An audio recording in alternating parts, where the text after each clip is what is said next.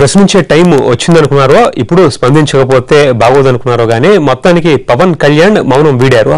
ఇరు రాష్ట్రాల నేతలకి హితబోధ చేశారు. ట్విట్టర్ వేదికగా తెలుగు రాష్ట్రాల పెద్దలకి గీతా సారం వినిపించారు. ఏది తెగేదాకా లాగద్దని దెబ్బకు దెబ్బ తీయడమే రాజకీయ లక్ష్యం కాదని చురకలంటించారు పవన్ కళ్యాణ్.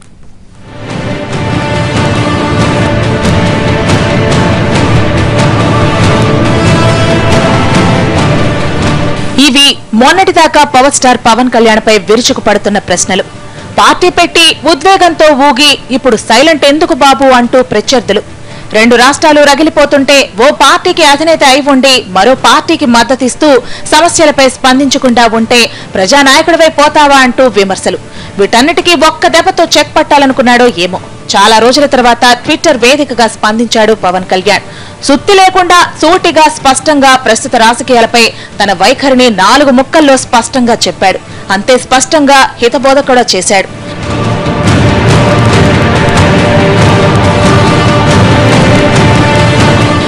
రాష్ట్రాల మధ్య గొడవలు మంచిది కాదని అంతర్యుద్ధం చెలరేగకుండా నేతలు సంయమనంతో వ్యవహరించాలని సూచించాడు. నాయకుల తీరుపై ప్రజలు అప్రమత్తంగా ఉండాలన్న పవన్ దెబ్బకు దెబ్బ తీయడమే రాజకీయ లక్ష్యమైతే దక్షిణాఫ్రికా ప్రజల మధ్య సయోధ్య సాధ్యమయ్యేదా అని ప్రశ్నించాడు. అందరూ నెల్సన్ మండేలాను ఆదర్శంగా తీసుకుని ముందుకు వెళ్ళాలన్నారు పవన్.